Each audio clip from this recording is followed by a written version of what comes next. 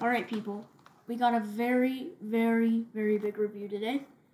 As you can see, this is the new figure from Godzilla X Kong the New Emperor. I mean, not really new, it's been around for a long time, but I've been wanting to like get this, make a review of it, and I'll tell you why it's awesome in a minute. Okay, so. Oh, okay, unexpected. A clipper the tail. Alright, so we gotta like put it in the tail to the body first. Wait, I gotta read the instructions. As you can see now, we have connected the tail to the body. Tail has a very nice range of swivels and articulation. Now let's go over, so first we're going to go over the design. I love this. Honestly, very nice paint job on it.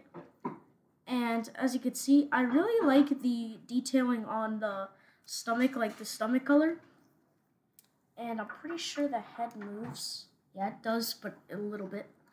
And the detailing on the tail tip is very nice, actually, and bendy. Alright, now now the parts that now here are the parts that could have been done better.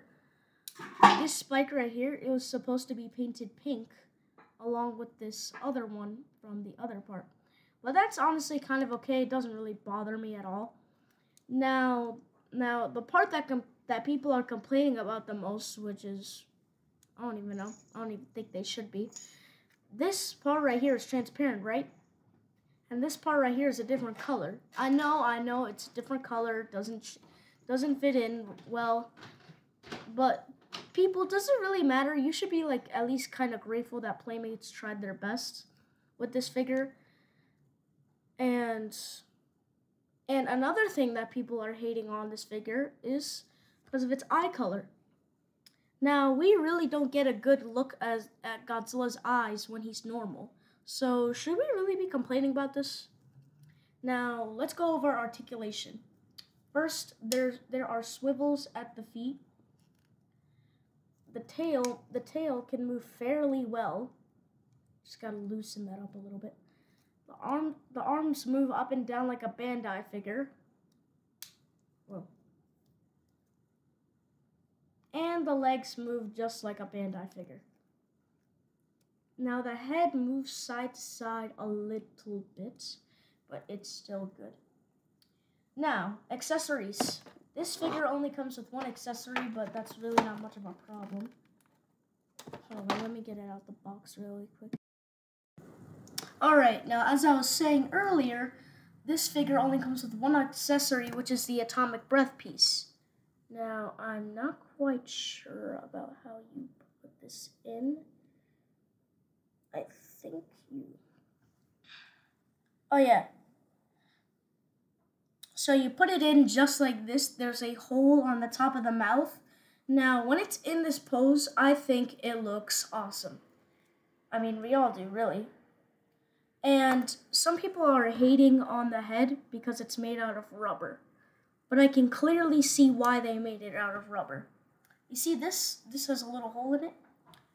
If, if, if the head wasn't made out of rubber, the head wasn't made out of rubber, then this atomic breath piece would never be able to get fit in there. Anyways, we went over all the base, the base things about the figure. Now let's compare it to other figures. Here it is compared to Jakks Pacific Mini 2019 Godzilla, Bandai Final Wars Gigan, Kiryu, and the Playmates Skullcrawler, which I modified a little bit. Honestly, Playmates, this overall, this might be one of your best figures.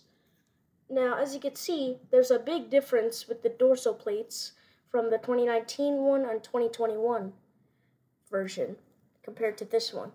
Anyways, guys, that's going to wrap it up for, for today's video. Make sure to like and subscribe and hit that notification bell so you'll never miss out when a new video comes out. At, at least if your YouTube loads cor correctly. Anyways, bye-bye.